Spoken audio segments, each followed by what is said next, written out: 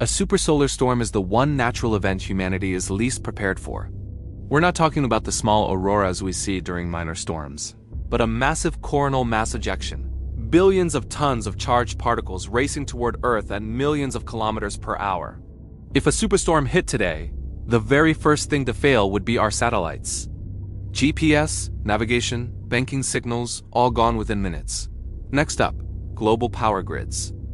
Transformers would overload, plunging cities into darkness and causing modern communication to collapse.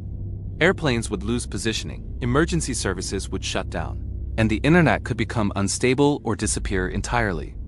The last event this strong was the Carrington event in 1859, and even then, telegraph systems caught fire. Our world today is thousands of times more dependent on electronics. One massive blast from the sun could turn our planet quiet in seconds. Scientists are watching closely, but if the next big one hits, we may only have hours or even minutes to react.